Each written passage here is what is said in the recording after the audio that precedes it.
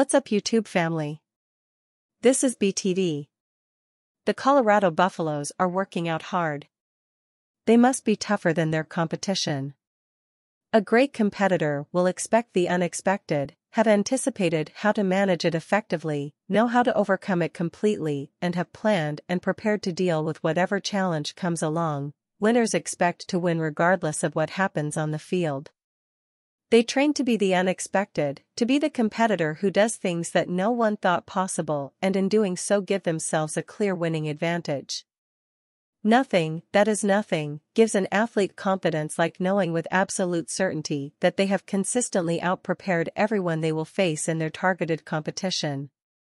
An athlete need evidence, REA, evidence that they can be successful and the only currency they will bank on is knowing that their preparation has been uncompromisingly in every detail. Let's watch and listen to these boys work out.